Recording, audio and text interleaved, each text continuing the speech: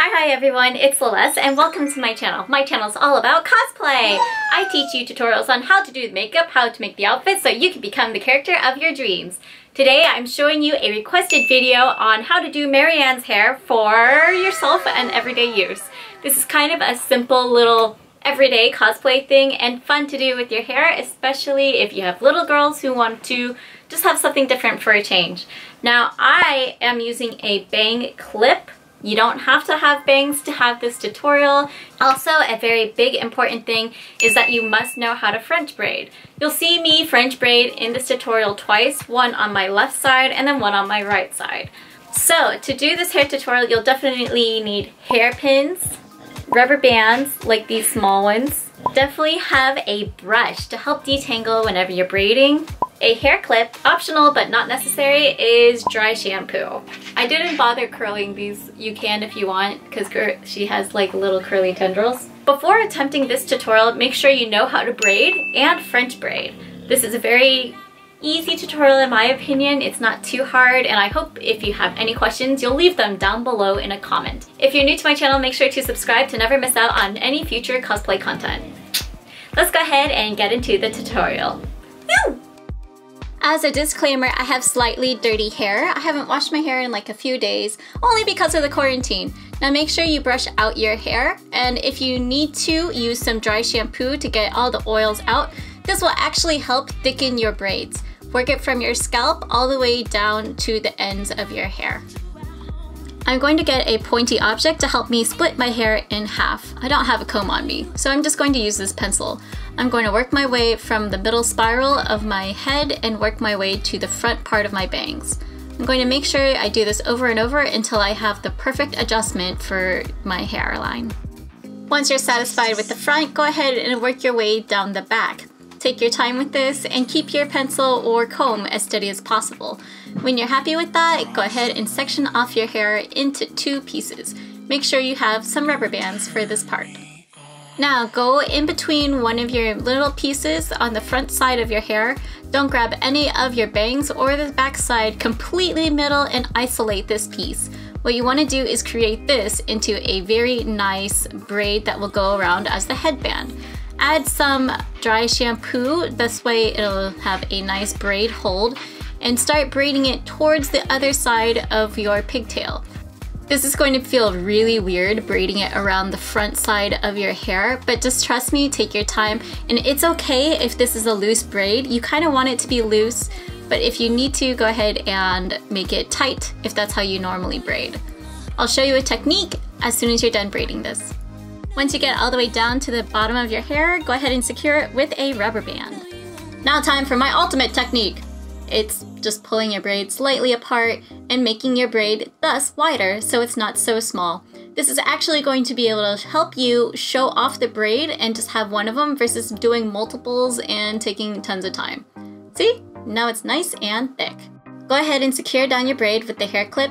Now separate out your bangs if you want to have bangs and now go ahead and start grabbing your pieces to start your French braid. You want this to go ahead and envelop that first part braid. Make sure to brush it out just in case. I want to make sure that this side's really tight so it doesn't get stuck. I just realized that. Okay, so go ahead and grab that section of hair again and then you're going to start French braiding it. French braiding is basically braiding and adding hair on each side when you have to loop it over. You're going to French braid it all the way down to the nape of your neck. And slowly picking up hair from both sides will cause you to French braid. That's the best way I can do it, and I don't think I can show you any better than where I'm at right now. But this is why I said you must know how to French braid before attempting this tutorial. But you can see how I'm trying, and it's just one person.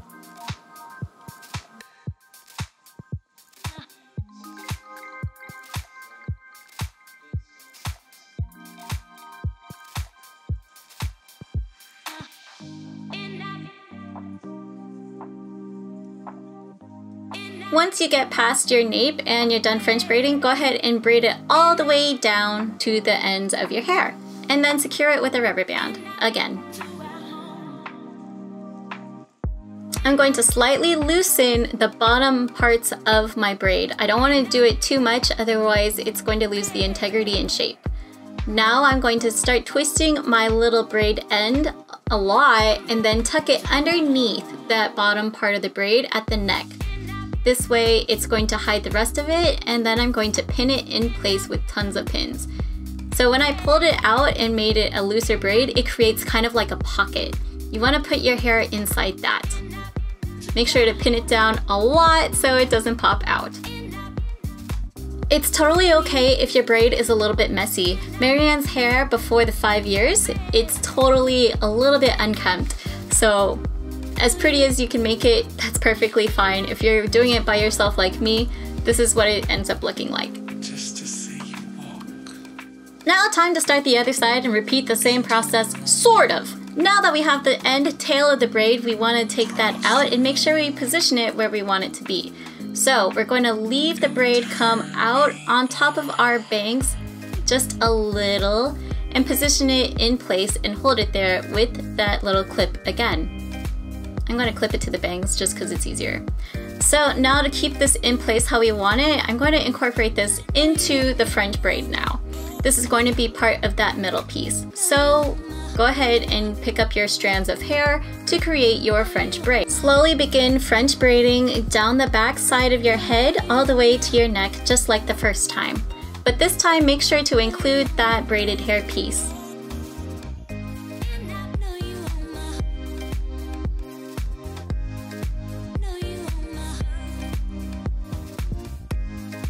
Here, you'll see that I accidentally pulled on the other side of the braid while trying to gather hair for this braid.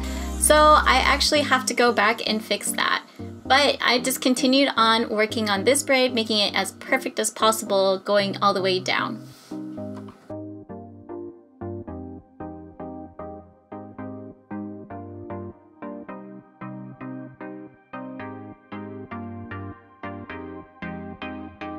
Now that I've surpassed my neck part, I'm going to go ahead and take a look at how my braid looks. And now that I'm happy with it, I'm going to take that clip out and that the top braid is perfectly in place. I'm going to finish braiding the bottom part of this French braid and secure it. Now that it's nice and secure, I'm going to once again twist it all the way up and push it inside that part of the French braid. You can do a number of things. I just kind of like sonic rolled it and put it inside. This is kind of like the best technique that I've done, honestly. So if you want to go full on cosplay of this, go ahead and grab a bang clip. My bangs need a little TLC, so I'm going to brush them out nicely. I'm going to move my little braid back and secure it down with my clip. I'm going to find the center of my bang clip and slowly put it into place. There's three clips on my bang clip and I'm going to make sure that they fit all appropriately onto my area that I want it to be.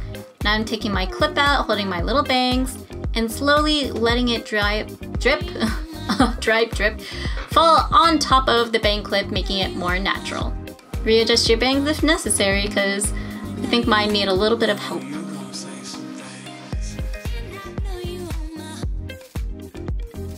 Redoing this side because I definitely didn't like how it looked after I had tugged on it from this side. So I'm rebraiding it so you guys can see what it properly looks like when I don't screw up. And then of course just finish off by using a rubber band, hearing my dog snort. He's snorting really hard. Oh, he's growling. All right, tie it off and then make sure to pull it just slightly. Don't have to go hard. Just slightly. And now we're gonna just pin it underneath.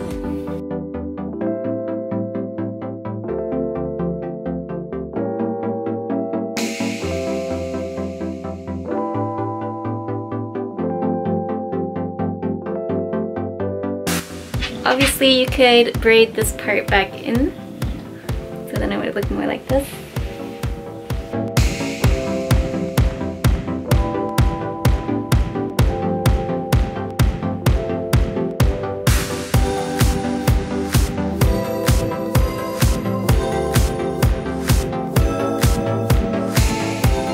Guys enjoyed this quick hair tutorial. I don't really do a lot of these often.